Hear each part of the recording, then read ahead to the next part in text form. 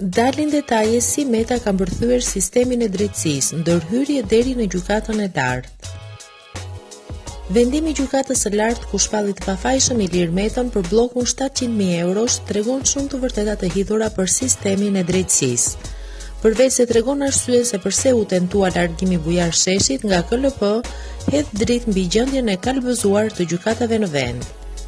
Sot gjykata që shfajsoi Metën është shkrirë dhe trupa gjyqësore është jashtë sistemit, pikërisht për shkak të korrupsionit endemik. Por vendimi tregon dhe të vërtetën tjetër se si Meta e Berisha kanë kapur sistemin e drejtësisë në vend. Vetingu po largon një pjesë të madhe të gjyqtarëve dhe prokurorëve të emëruar prej tyre dhe kjo është arsyeja përse sulmohet procesi. Në vitin 2010 Meta kishte miqësi të forta në drejtësi.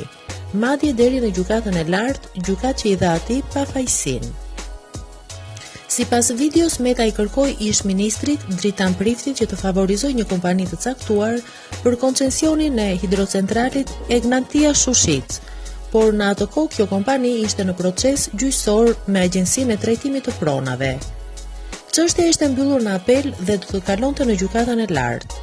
Një gjë e tillë është thënë dhe në dëshminë e Dritan Priftit. Zoti Meta më informon gjatë këtij takimi që në apel çështja ka përfunduar, pra është fituar nga ky bashkim. Pra është fituar, prandaj mbaroje këtë punë menjëherë sot, ka thënë Prifti në dëshminë e tij. Më sakt, duke qenë se kompania ishte në proces gjyqësor, nuk mund të kualifikohej për të fituar tenderin. Por nga hetimet e prokurorisë rezulton se vetë Meta kishte dalë garant se do të ndërhynte edhe në gjykatën e lartë, që çështja të mbyllej sa më shpejt.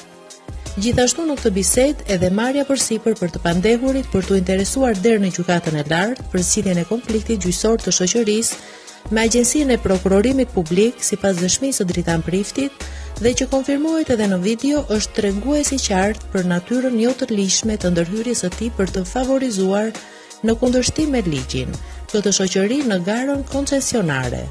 Kjo ndërhyrje tregon gjithashtu shkakun për të cilin dëshmitarët po i afrohej ky përfitim i paligjshëm, ka thënë prokurori Bujar Sheshi në hetimet e tij.